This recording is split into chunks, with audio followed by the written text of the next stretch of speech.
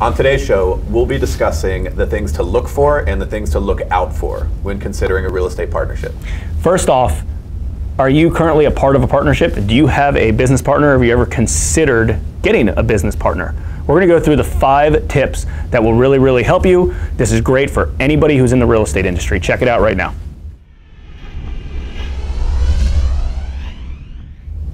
Hey guys, today we are discussing the five most important things to consider when starting a real estate partnership. Although you really can consider some of these things in any business that you're in, that you are looking for some sort of partner or, or some sort of help, uh, a lot of the things that we're going to discuss are going to be geared towards maybe a real estate agent or a real estate broker who wants to team up with another agent and maybe start a team Yep. and create a partnership that way. Uh, this is good for anyone who wants to start a real estate investment company or has a real estate investment company and wants to uh, you know, bring on a partner. Or if it's just a straight one-off deal where, let's say, I bring the money, you bring the deal, and we have some sort of uh, transparent partnership where we do profit splitting, that works great too. But we are going to gear this towards real estate investing um, or real estate brokerage. And hey, let's be creative and figure out kind of what makes a good partner. Yeah, for sure. So, first things first, your goals need to be in line with one another. Um, and, and there can be different goals in real estate. Like, for example, are you looking to, um, you know, fix and sell properties this year for that kind of profit, which is fine. Um, is it a long-term play? And sometimes people even conflict in the same deal. A friend of mine develops apartment buildings in Arlington, Virginia, and he was saying that the capital investors, there's a number of them because they do pretty big stuff, so they have to, you know, pool their money together. Some people want to hold, and some people want to sell as condos Yeah. every project that comes up, divergent agendas. So, I mean, i it's tough when you're talking about a dozen people or something like that, but when you're talking two, which is, you know, more common for a partnership, just get your goals lined up. Yeah, I think that's probably the most important thing. I mean, eh, it's kind of weird to, to say this, especially on camera, but a lot of people, the financial outcome of your projects is not their number one goal. And I know you may think, like, how can that be? Well, someone may say that, but then when you kind of dive in and work on a relationship, it's listen, we can't put an extra $10,000 of improvements in this house, although it will be the best house if we do it, but we do not have that in the budget to do that. You need to you need to follow the game plan. So obviously kind of learn a lot related to, to people's goals, but like what Chris said, you know, maybe a long-term play, maybe a short-term play. And the tricky part about partnerships in general is people's situations change. Their marital situations, their financial situations, their personal goals, and it's and, and that's hard when that happens. I'll give you for example, let's say you both have two full-time jobs, you want to start investing in real estate, and all of a sudden you say, listen, we're just gonna, we're not going to take any of the money out of the company. We're going to just roll roll it in. We don't need the money out. We each have we each have full-time income. We're going to let's say we make twenty thousand dollars on a flip. We're going to put it in the company and we're going to roll it and roll it and roll it. Well, that's great right now, but what happens in the future? All of a sudden, maybe someone says, hey, I want to do this full-time, and the other person says, I don't want to do this full-time, but I'm going to need the money out. This person wants to keep the money in. Just things to consider. Again, there's no right or wrong, but these are things that consider you have to consider when creating this partnership. Yeah, you can't predict the future, but you know, do your best to address all this kind of stuff up front.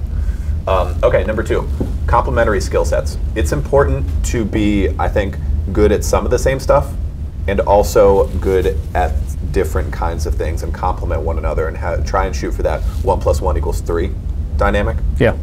Yeah, I mean, all of a sudden, you can't be a gangster rock star and then bring in someone down here that maybe only knows this little small bit of the industry. Yeah, they're going to help you kind of short term, but if you guys don't have aligned skill sets or stuff that, hey, I'm really good at this and I'm really good at this and I'm really good at this I'm really good at this. But if you're really, really good at this or this other person's really, really good at this and that other person is not really good at much of anything, it's just, it, it's a disaster waiting to happen. Yeah, yeah, that was uh, number three. Is in general having a similar ability level. Like Jason was saying, you can have different skill sets and be good at different stuff, but you have to be somewhere in the same neighborhood. Like you can't have Mark Cuban with like some local real estate schmo.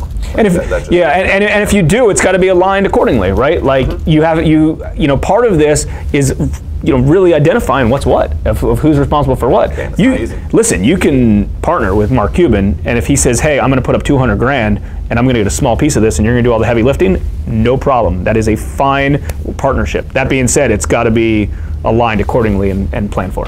Yep. Um, that brings us to number four: your job description and your action plan. who's doing what, who's bringing what kind of resources. It's very common, like Jason just said, that you have a money partner and an operating partner. Like if that's the deal, just make sure you know that's the deal, and also be mindful that could change down the road. So whatever that job description and action plan is, like when you're when you're in your startup kind of phase, and also when you hit the ground running, it has to be lined up. Um, if you're both operating partners, for example, you need to be somewhere in the same neighborhood in terms of work schedule and everything else, because people are going to perceive things like that. Like, you know, if somebody does 70 hour weeks and somebody does 10, like it's not going to be all that compatible. So just who's doing what and the workload and volume and everything else should be in the same ballpark. Yeah, especially you know who's kind of front of the house, who's back of the house, depending on what type of operation you are. You know, a lot of us who start businesses have very heavy sales backgrounds, or we're into sales and we're into you know, True. making money, growing, selling, stuff like that. And don't get me wrong, it's good to have that same type of partner, but sometimes you could clash when you do something like that. You know, sometimes it's, hey, I want to be front of the house and I want to grind and I want to grow and I want to bring everybody into this front door. And then after in the front door, I want you to take them down and I want you to, to, to operate and manage and manage it. You know, think of like a real estate team. Um, and you're great at sales, you're great at, at bringing in new clients, uh, and then maybe your partner is manages you know, maybe more of like a CFO role, role, right? Like they manage the finance stuff, they manage the accounting stuff, they manage the operations, they take it from here all the way all the way to the closing. There's a lot of situations like that. So again, a lot of this just kind of goes back to the beginning of setting the expectations, setting setting the goals, and making sure you're right, uh, really aligned of exactly what you're doing. You know, obviously you can change things up. Uh, you know, but you know, when we started, for instance, a lot of the stuff that we did overlapped, right? And then we tried to have more. Yeah. Not permanent roles, but I identified, defined, defined roles yeah. of exactly who was doing what, and and our jobs and our roles every day overlap. Like I'm here, Chris is here, and over here in the middle, we overlap. I overlap on some of his stuff, he overlaps on some of my stuff. That's a healthy relationship. But you can't just question everything that somebody does. Like if you if he's responsible for doing something, he's responsible for doing stuff. I can't question it. I can talk to him about it and say, hey, why'd you do this? Or maybe, you know, we can figure this out, but if he's running point and if you're letting that person be responsible for something, let them be responsible for it. Yeah, definitely. Um, so the idea of compatibility is number five, and kind of a summary of the other ones. And think about it a little bit down the road, after you've gotten into the business a little bit and you're operating and things are happening and everything else. Think about the different ways in which partners can be compatible. Like just your basic philosophy in business, like what do you want to achieve at the end? Because people do have different goals. Like Jason said, some people it's a financial goal, and some people it's not. Most people will say it is, but then they don't act accordingly. Uh, some people are just into the hustle and hard work. Some people are into like I own a company for the ego reasons. All we've seen all these scenarios they happen. Um, so the compatibility, look at that part of it, and then also, like I said, the the other things. Do you operate in similar ways? Like, do you have you know somewhat similar schedules and like travel and like you can't necessarily be somewhere for three months out of the year, stuff like that. You know, just compatibility across the board. Yeah, I mean, you're going to be married to this person. You're a partner with this person. I mean, consider the word. I mean, think about the, the term partnership in general.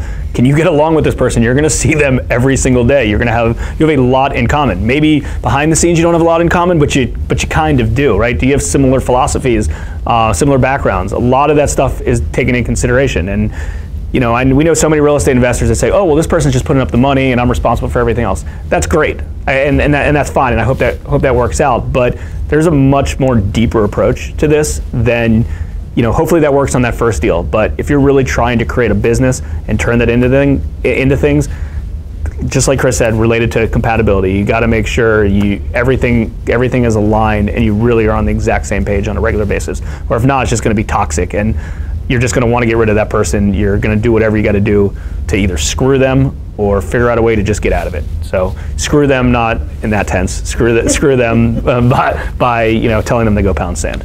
Yeah. So if you could, guys, uh, give us a partnership story of yours, uh, a success story, maybe one when things went sideways and why, just so everyone else who's uh, checking out the video or listening to this on audio can can learn from your story as well. Absolutely. As always, like, comment, share, subscribe. Thanks again.